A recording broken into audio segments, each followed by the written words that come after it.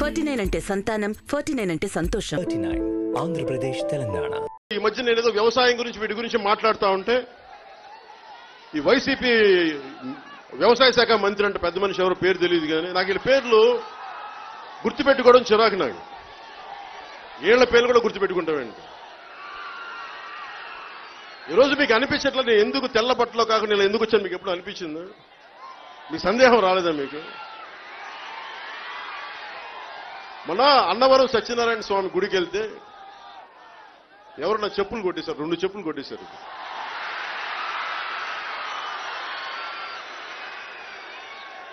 చెప్పులు లేకపోతే జుబ్బా వేసుకుంటే బాగుండదు కదా కుర్తా వేసుకుంటే బాగుండదు కదా ప్యాంటు షర్టు షూ వేసుకోవాలి వచ్చి నా రెండు చెప్పులు.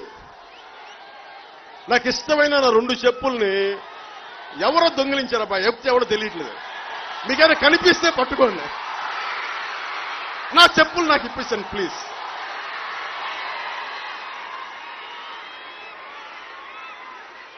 అంటే వైసీపీ ప్రభుత్వం ఎంత దిగజారిపోయిందంటే గుళ్ళో నేను వదిలిన చెప్పులు కూడా పట్టుకెళ్ళిపోతుంది. చాలా బాధగా ఉంది.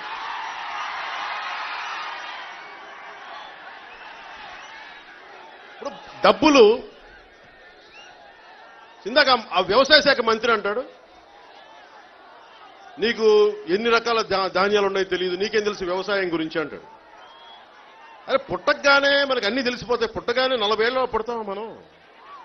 ఈ వైసీపీ పెద్ద వీళ్ళు ముదురులాగా వీళ్ళు పుట్టగానే చాలా గడ్డాలు పెంచేసుకుని అమ్మ ఏంటమ్మో చెప్పమ్మా yes yes I know everything about అది వెళ్ళవా ఏం మాడతాను? ఏదో వింటున్నాం కదా మీ దగ్గర డబ్బులు ఉన్నాయి కదా గుండాలు ఉన్నాయి కదా అని చెప్పి నోటికొచ్చిందల్లా మాట్లాడుతుంటే కామ్గా చూస్తూ కూర్చుంటాం మేము. నేను ఒక్క నిర్ణయించుకున్నానబ్బా నా ఆంధ్ర నేల కోసం నేను నిలబడే ఉంటా. ఎలాంటి గుండాగాడైనా సరే వైసీపీ ప్రభుత్వం గుండాలకి నిలయం అది. ఒక్కొక్క వైసీపీ గూండాగాడికి కానీ క్రిమినల్ గాడికి కానీ మీకు చొక్క బట్టలు ఓడదీసి రోడ్ల మీద కొట్టిస్తాను ఒక్కొక్క గూండాగాడికి చెప్తున్నా. శ్రీపాద శ్రీవల్లభుడి సాక్షిగా చెప్తున్నాను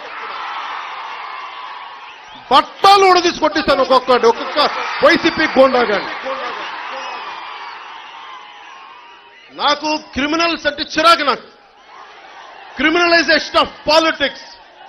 నేర చరిత్ర రాజకీయాలకు వచ్చి వీడా మనల్ని పాలించేది. ఈ సన్నాసుల మనల్ని పాలించేది. ఈ దరిద్రుల మనల్ని పాలించేది. గుండాగాళ్ళు రౌడీలు హంతకులు సిగ్గు ఉండాలి మనకి. ఇలాంటి నేర చరిత్రల చేత పాలింపబడటానికి. నేను పోరాటం చేస్తా. తెగిస్తా. సినిమాల్లో నేనేమి పిచ్చి నేను కూర్చోబెట్టి సినిమా మాటలు మాట్లాడట్లా. నేను నిజ జీవితంలో చేసేదే మాట్లాడతాను నేను. సినిమా పరంగా నేను తక్కువ చేస్తాను. మీరు రియల్ లైఫ్లో గొడవలు పెట్టుకోమని నాకు చాలా ఇష్టం నాకు.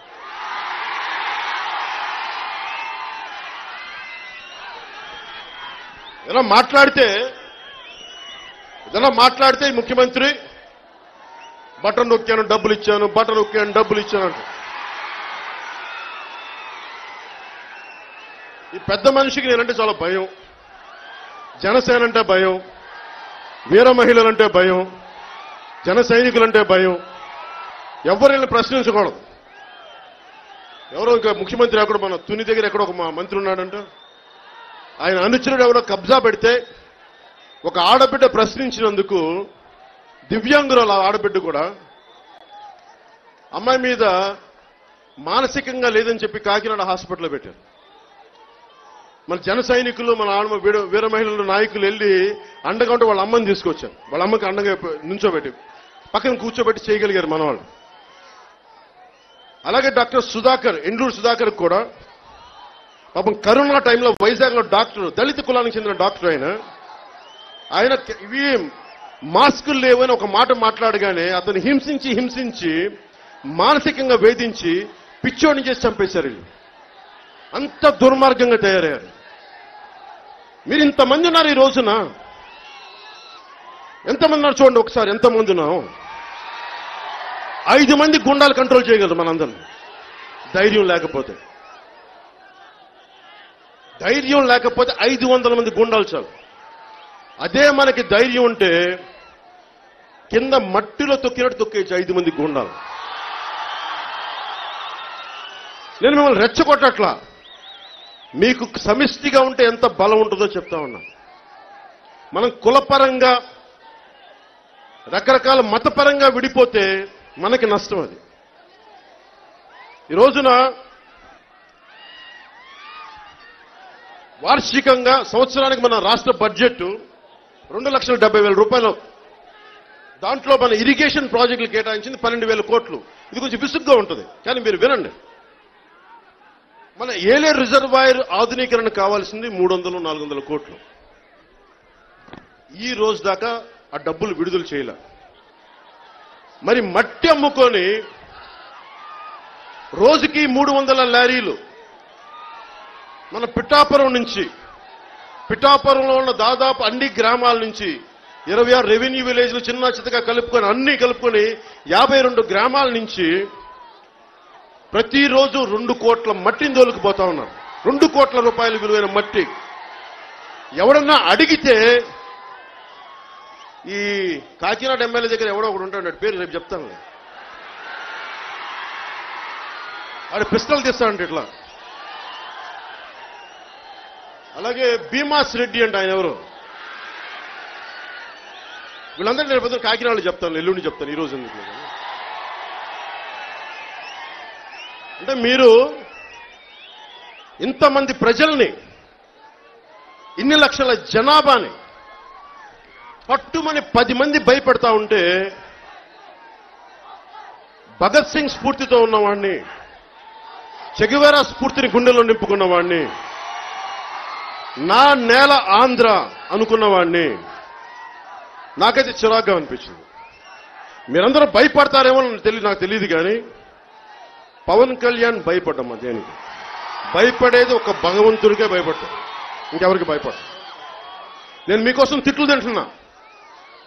మీ బిడ్డల భవిష్యత్తు కోసం నన్ను నాన్న నా బిడ్డలు తిడుతుంటే కూడా భరిస్తున్నా. నేను ఈ రాష్ట్రాన్ని క్షేమంగా ఉండాలని కోరుకుంటా ఉన్నాను నేను. అభివృద్ధి పదంలో ఉండాలని కోరుకుంటున్నాను. ఇంతమంది యువతున్నారు మీకు ఉద్యోగాలు ఇవ్వలేదు. రెండున్నర లక్షల ఉద్యోగాలను ప్రామిస్ చేశాడు ఆయన. మీరు అడగాలి మీరు. మీరు నన్ను అడగండి. నువ్వెలా ఉపాధి అవకాశాలు కల్పిస్తావని. నేను చెప్తాను ఈ రోజున. నా దగ్గర షణ్ముఖ వ్యూహం అని ఒక పదం ఒకటి చెప్పాను మీకు. దాంట్లో ప్రతి నియోజకవర్గానికి ఐదు వందల మంది యువతకి ఐదు వందల మంది యువతకి పది లక్షల రూపాయల చొప్పున వాళ్ళు ఏదైనా ఎంటర్ప్రీని ఏదైనా బిజినెస్ పెట్టుకుంటానంటే ఆర్థిక సహాయం చేయాలి. నేను చేయదలుచుకున్నాను నేను దాన్ని. అది ఎలా సాధ్యపడతో చెప్తాను. మీరు అడ్డగోలుగా రోజుకి మూడు వందల లారీలు మట్టి దోచేసే ఎదవలను కనుక కాళ్ళు కీళ్ళు జైల్లో కూర్చోబెడితే వచ్చే డబ్బుని మీకు పంచడానికి ఎంతసేపు పడుతుంది మీరు చెప్పండి.